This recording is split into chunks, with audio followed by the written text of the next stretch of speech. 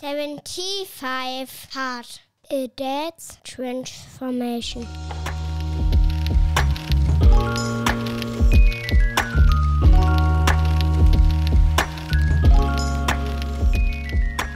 Hi everyone, welcome to day 31 of my 75 hard challenge. And our small trip is coming to an end.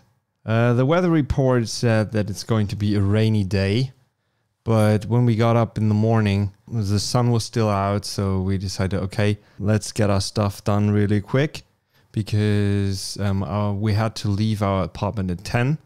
So I more likely spend the whole morning packing up. And since we didn't prep at all the night before, uh, it got pretty hectic. And I think we were out at 10 or 5 or something like that. So we packed the car.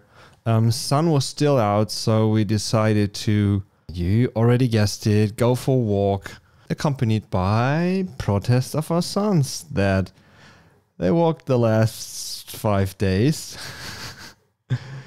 but um, the dogs had to get out and we went another route accompanied by a couple of tantrums as it always is but overall it was nice and we enjoyed the last sunbeams of that day. Because five minutes um, before we ended it started to rain. Um, i packed everyone in the car. The bummer was there that the bikes still had to be loaded. So I spent 20 minutes in pouring rain and packed the bikes on the back of our car. That was a little bit annoying because all kind of my spare clothes were in the back of the car where, where it was difficult to get a hold of them.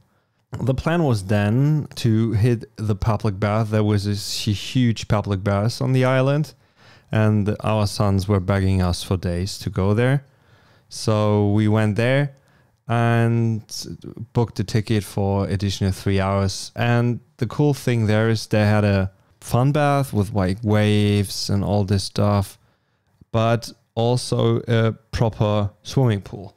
So I backed my wife and said, "Hey, let me get another workout in. I haven't had a swim in months, and I really would like to do my second workout in this um, in the swimming pool, and she agreed. So she played with the kids while I was swimming for 45 minutes, and it was cool. I really would like to implement more swimming workouts, but over here in my hometown, it's a little bit difficult, and to find a good bath and find the time because you have to jump on the on the car or on the bike, go there, swim, get back. That's consuming a lot of time, so it's difficult for me to get this into my day.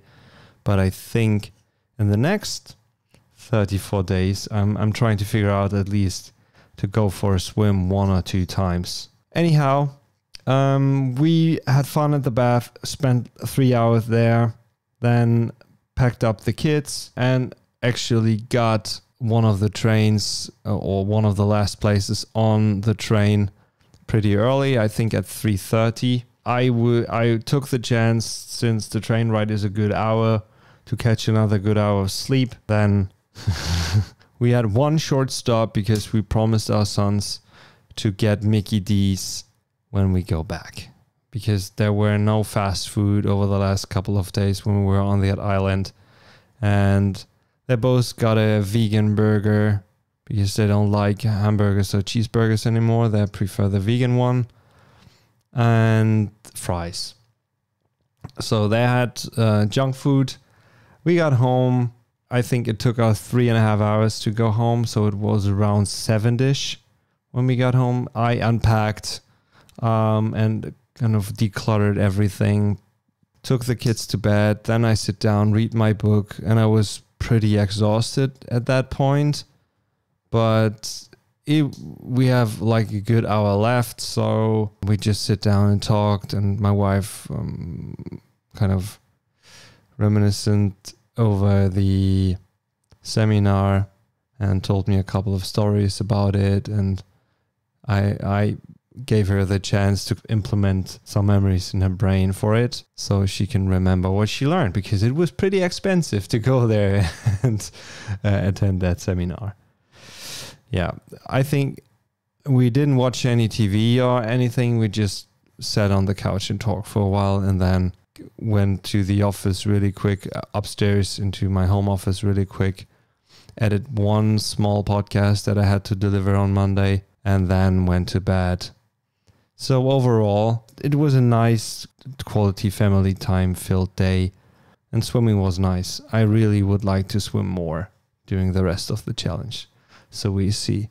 Okay, guys, so let's go through that list to come to an end workout one was a pretty hefty walk with the kids, and workout two was a good swim for 45 minutes. I didn't cheat on my diet. I took a picture. I didn't have any alcohol.